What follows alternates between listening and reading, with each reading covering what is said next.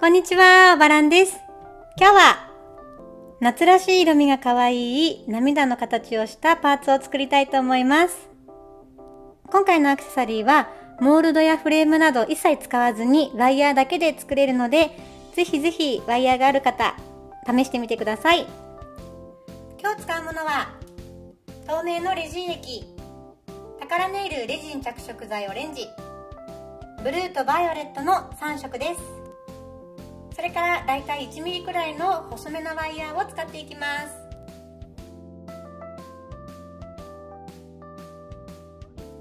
10センチくらいにワイヤーが切れたらこういった筆やペンなどの曲線部分を使ってワイヤーを曲げていきます。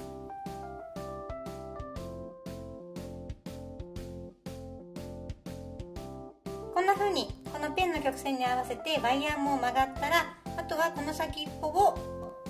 クロスさせて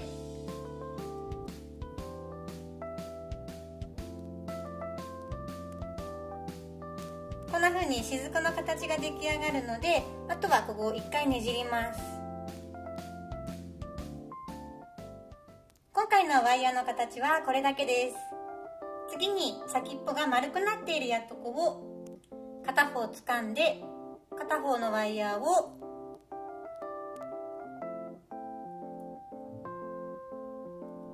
くんと曲げていきます。そして曲げたところのワイヤーをカットします。ワイヤーを切る時のポイントはここの長さを 23mm 残しておくことです。ここを残しておく理由はこの 23mm 残したワイヤーと一緒に巻きつけていくので少し長めにしておくと綺麗に仕上がります。なのであとはこのワイヤーを切ったワイヤーと一緒に3回ほど巻きつけます。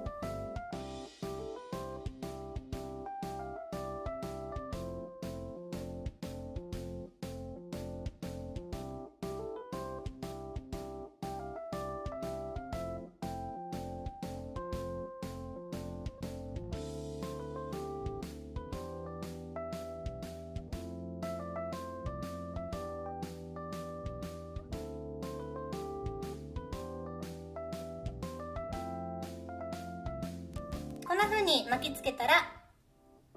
残ったワイヤーを切ります。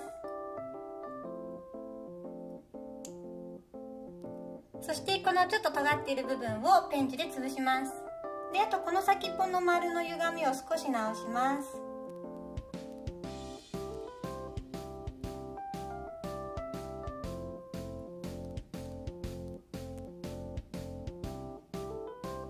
そうすると雫の形のパーツが出来上がります。これをあと何個も作ります。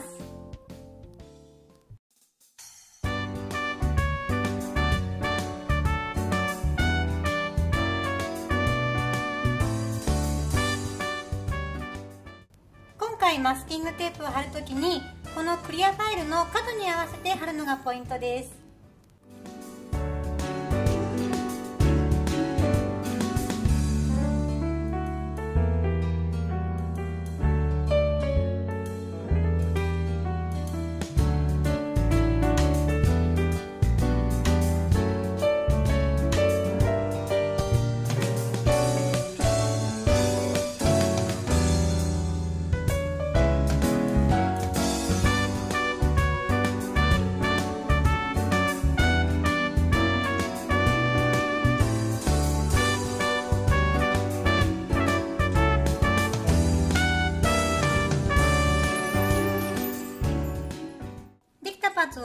ままマスキングテープに貼ってしまうとこ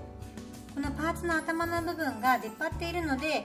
横から見るとこんな風に隙間ができていてこのままレジン液を流してしまうと横に流れてしまうので今回このワイヤーのパーツを貼るときは頭をこのギリギリのところに合わせてこんな風に貼ってあげると横からレジンが漏れないのでいいと思います。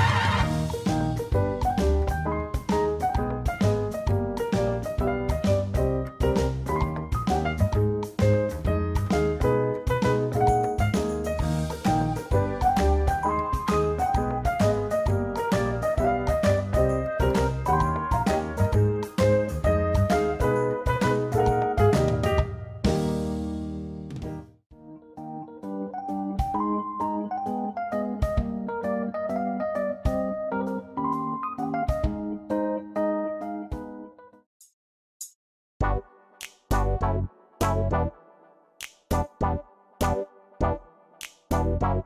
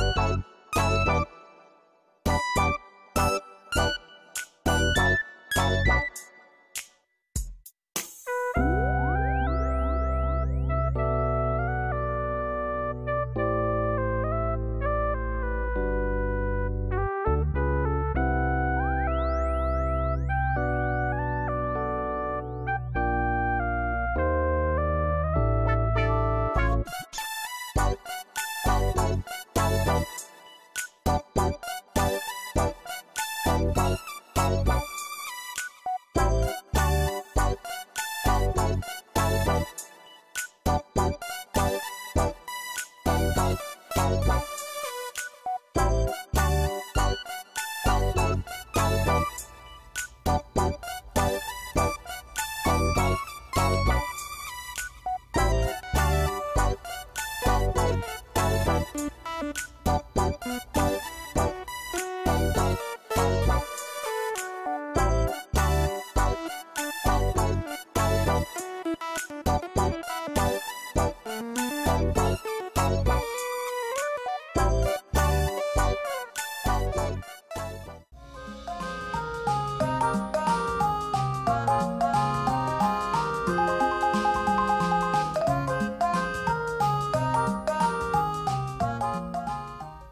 というわけで今回はワイヤーで雫型のパーツを作ってワイヤーの縁をレジンで硬化させて